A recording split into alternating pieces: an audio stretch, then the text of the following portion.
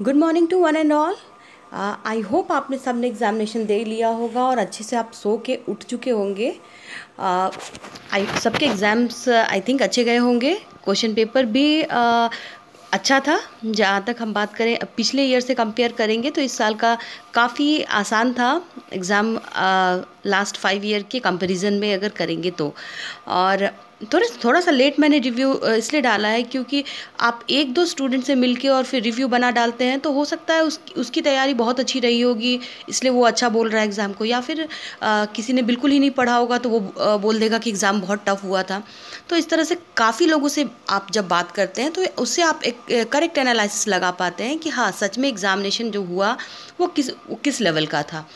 तो ओवरऑल जब मैंने बहुत सारे लोगों से बात की इस बारे में, जो मैं काफ़ी एग्ज़ाम सेंटर्स पे भी गई थी, जहाँ पे पीजीटी और टीजीटी और पीआरटी तीनों वालों से सेवनटीन को भी और एटीन को भी मेरी बात हुई और सब्जेक्ट वाइज भी मैंने बात करी। तो ओवरऑल अगर बोले पेपर वाइज पेपर वन बहुत अच्छा था। सभी बहुत खुश थे एग्ज़ाम देने के बाद पेपर वन के बाद। पेपर टू ऐसा बोलेंगे ओके। क्योंकि कुछ सब्जेक्ट वाले खुश थे कुछ खुश नहीं थे। जैसे कुछ इंग्लिश वाले स्टूडेंट से मैंने बात की जो इंग्लिश पीजीटी या टीजीटी दे रहे थे उन्होंने बोला बहुत लेंदी लेंदी पैसेजेस थे। इस तरह का उन्होंने रिव्यू दिया। तो हो सकता है ये पर्सनल ओपिनियन उनकी होगी रही होगी बट ज़्यादा बुरा नहीं कह सकते हैं। हाँ ये पेपर वन वेरी गुड और इसे मैं ओके की कैटेगरी में रख रही हूँ।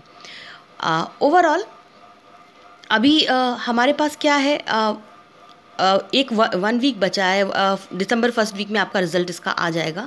और आप चाह रहे हैं, कुछ लोगों ने डिमांड करी कि इसका की आंसर की आंसर इतनी जल्दी प्रोवाइड नहीं करा सकते क्योंकि हमारे पास क्वेश्चन पेपर भी नहीं है, ये ऑनलाइन एग्ज़ाम था और अभी कहीं भी इसका डाटा अवेलेबल नहीं है कि ये क्वेश्चन पेपर जो है, या इवन वेबसाइट पर भी अपलोड होते हैं अभी आ, कल इतने जल्दी एग्ज़ाम के बाद अभी वेबसाइट पे भी आपको ये पेपर नहीं मिल सकते हैं।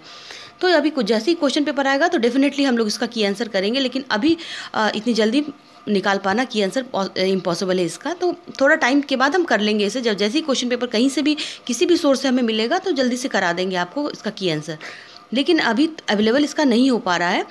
तो हम इसे छोड़ देते हैं एनर्जी वेस्ट इस पर नहीं करते हैं। और जहाँ तक बात करेंगे मार्किंग स्कीम की तो मार्किंग स्कीम इस एग्ज़ाम का ऐसा था कि अगर आपको पूरे जो स्कोर्स हैं, जैसे आपने 180 का पेपर दिया है पीजीटी या टीजीटी का, और, या फिर 90 का दिया है तो जितने का भी दिया आपने, दोनों में स्कोर जो होंगे वो नॉर्मलाइज किए जाएँगे हंड्रेड से। तो हंड्रेड से नॉर्मलाइज का मतलब ये हुआ कि जैसे आपने जो भी पेपर दिया और उसको हंड्रेड से नॉर्मलाइज करेंगे उसके बाद क्या होगा कि एक नेगेटिव मार्किंग है one fourth for each wrong answer तो आपको हर uh, एक uh, गलत जवाब के लिए आपको वन फोर्थ मार्क्स फिर ये कट करेंगे। पार्ट ए और पार्ट बी uh, दोनों एक साथ अवेलेबल होगा और कैंडिडेट्स uh, क्या होते हैं पूरे फ्रीडम रहता है कि जो पार्ट पहले वो अटैम्प्ट करना चाहिए या जो क्वेश्चन पहले वो अटैम्प्ट करना चाहे कर सकते हैं।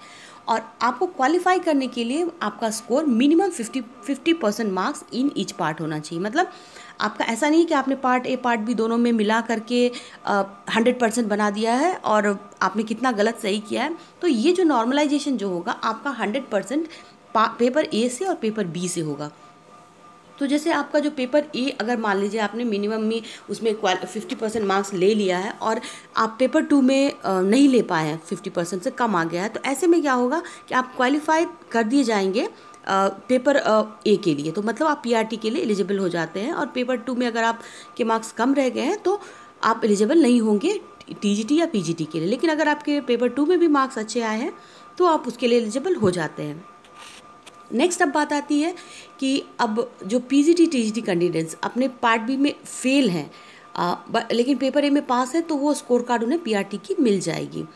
ये रही बात। अब यहाँ पर क्या है? नेक्स्ट हम एक एनालाइज करते हैं कि जो स्कोर कार्ड होगा, आप स्कोर कार्ड थर्ड दिसंबर के बाद क्या हो अगर जो आपका फ़र्स्ट वीक ऑफ़ दिसंबर मान के चलिए, ये रिज़ल्ट आपका आ जाएगा। और थर्ड दिसंबर डेट दे के रखा हुआ है ए डब्ल्यू ई एस ने अपने वेबसाइट पर कि थर्ड दिसंबर को आपका रिज़ल्ट आ जाएगा तो बहुत ज़्यादा टाइम भी नहीं है, आप वेट कर सकते हैं, दस दिन की बात है, आप रिज़ल्ट ही देख लेंगे डायरेक्ट अपनी। तो बिल्कुल आप थर्ड दिसंबर के बाद आपका स्कोर कार्ड जनरेट कर देंगे वो, जिसको कि आप वेबसाइट से ही डाउनलोड कर पाएँगे। और ये कार्ड वैलिड होगा आपके थ्री इयर्स तक के लिए। थ्री इयर्स तक क्या होगा कि आप इसे अप्लाई कर पाएँगे जहाँ भी आर्मी पब्लिक स्कूल के लिए आप एलिजिबल हो जाते हैं। जैसे आपके पास सीटेड कार्ड होता है ना तो वो आप सीटेड जहाँ जहाँ एलिजिबल है तो यहाँ पे एपीएस जो आपको एक कार्ड जनरेट करती है जो सक्सेसफुल कैंडिडेट्स हैं उनके लिए तो वो एलिजिबल हो जाते हैं थ्री इयर्स तक के लिए। आप जहाँ जहाँ भी आर्मी पब्लिक स्कूल हैं, वो आप उसमें अप्लाई कर सकते हैं। और ये कब होगा? तो एक बार आप जब सी एस बी कार्ड आपको मिल जाता है तो उसके बाद आपको क्या होता है कि, आपका कब ये आएगा? तो ये हम तो इस चैनल पे अपडेट करते रहेंगे कि कब आपको आएगा, लेकिन यूजुअली क्या होता है इंटरव्यू आपकी एक होगी जो दिसंबर टू मार्च के बीच में होगी। दिसंबर 18 से मार्च 2019 के बीच में आपकी इंटरव्यू होगी, जो कि लोकेशन ऑफ़ द स्कूल पे ही होगी। मतलब जहाँ जहाँ स्कूल का लोकेशन होगा, वहाँ पे आपका होगा और वहाँ पर लोकल मैनेजमेंट आपकी इंटरव्यू लेगी स्कूल की। और वहाँ पे आपका इवेल्यूशन क्या इंटरव्यू में आपका इवेल्यूशन होगा टीचिंग स्किल्स का एंड कंप्यूटर प्रोफिशिएंसी का। इन दो चीज़ों का टेस्ट होगा वहाँ पे। तो कंप्यूटर प्रोफिशिएंसी आप आ, अच्छी होनी चाहिए आपकी और टीचिंग स्किल अच्छी होनी चाहिए। तो दोनों चीज़ों का आपका टेस्ट होगा। और इसके अलावा क्या करेंगे आपको वो डेमो क्लास वगैरह देख के करा सकते हैं। आपसे डेमो क्लास करने बोल सकते हैं। या फिर रिटर्न टेस्ट या कम आपको ऐसे लिखने बोल के या फिर कॉम्प्रिहेंसन फिफ्टीन मार्क्स का लेके भी आपको कमेटी आपसे लिखवा सकती है जो आपकी इंटरव्यू ले रही है। तो इस तरह से इसका इवेल्यूशन होगा। ये तो हो गई एग्ज़ाम रिव्यू की बात। नेक्स्ट अब मैं बोलूँगी कि ये तो आप छोड़ दीजिए थर्ड दिसंबर को आप रिज़ल्ट देख लेना। जैसा भी था, जो भी था एग्ज़ाम आपने लिख दिया एक बार। अब इसे ज़्यादा रबर की तरह खींचना नहीं है अच्छा भी है, बुरा भी है, जो भी है। अब चलिए, आपका एग्ज़ाम हो गया।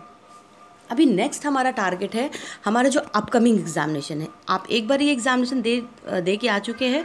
जैसा भी था आपने लिख दिया है, अब आप उसको कुछ चेंज तो कर नहीं पाओगे। तो हम की आंसर पे ज़्यादा एनर्जी इस पर नहीं लगाएँगे।